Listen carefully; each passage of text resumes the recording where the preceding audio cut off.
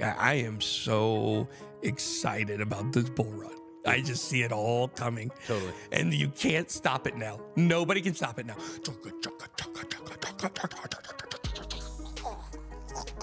It's gonna be so exciting. You guys are gonna be so rich. Some of y'all are gonna get girlfriends. I'm not a financial advisor.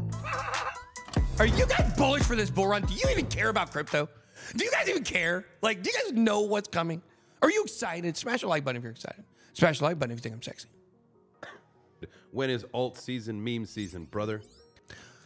When is alt season and meme season? Can you do me- You got to get Bitcoin going back up towards seventy thousand. Once Bitcoin hits around seventy thousand, starts challenging back to all-time highs. I think it's going to level off a little bit. I don't think it's going to blow right past it. And when, in those moments when Bitcoin stalls out as it climbs, that's when the altcoins run.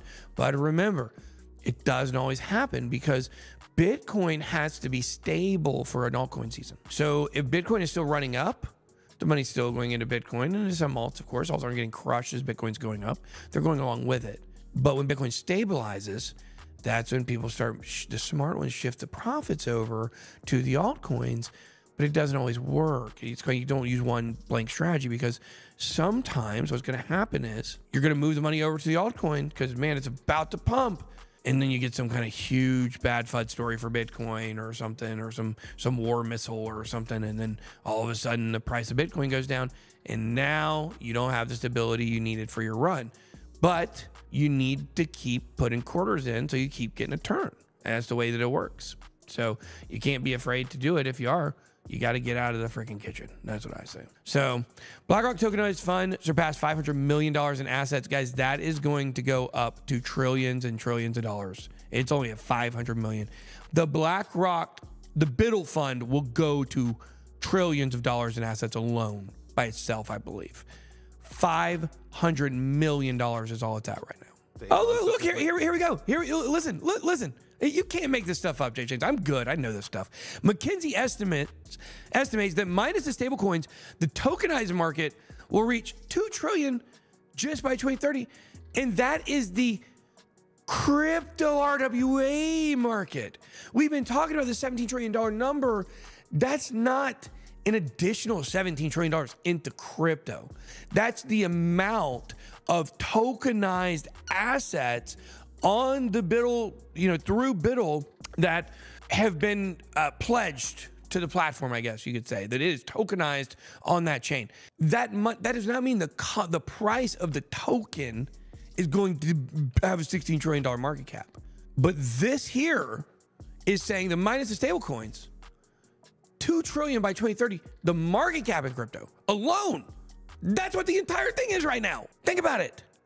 I've been telling you this RWA stuff is so serious, and you got to get into it. And Pyth is some of the the the, the and it's an oracle, but you, some you call it deep in a sense. It's it's helping to push RWAs. Yeah, They- oracles. and they and because they Can't got- wait for that interview. It's gonna be so good. Pyth has direct relationships and partnerships with Ondo, Yeah. which in turn, you know, they're connected with the And BlackRock. Sweet, of course. Sweet is all Sweet, they've got one yeah. too. It's like you guys got to understand, like BlackRock doesn't play to lose at all, mm, like mm, at mm. all. It's like this, like boxing, right? I have not gone into a fight yet where at the end of the first round, when I sit down in the corner, I'm like, "Oh, how can I do another round? That was so much work and I'm so tired and that was so intense. And it didn't go the way I thought I'd won. I did good, but it didn't go the way I wanted to. And so what do you have to do? You got to put yourself through the crucible because I want to get to the end of the first round and I want to still be able to feel like, okay, cool.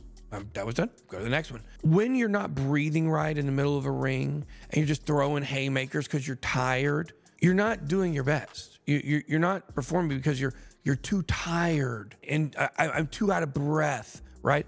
But these professional boxers go 12 three round minutes. What? What I'm saying here is what I'm trying to do in my training to get in the fight. I want to get to where I'm comfortable in the ring with my breathing and it's just normal and I'm in here, but the tension is still high. The tension is so high in the ring. I know what's going on and I know what the stakes are. The tension is very high, but I'm in control and I'm breathing and I'm thinking and I'm I'm I'm reacting. That's the way you have to be in the fake financial system that we live. Our, the fake financial system that we live in is our ring, and we're in the middle of it. It's always trying to throw you over the ropes, trying to get you out of the ring the whole time because it doesn't think you know what it's doing, right? The ring itself is fighting against you in a sense, trying to knock you out.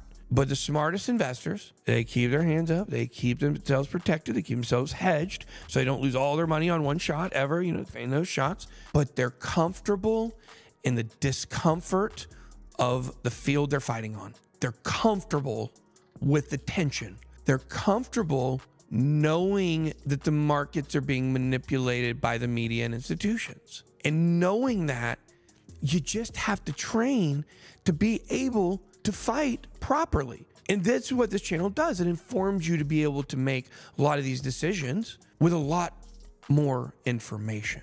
In boxing, is training. In crypto, it's education. That's your training.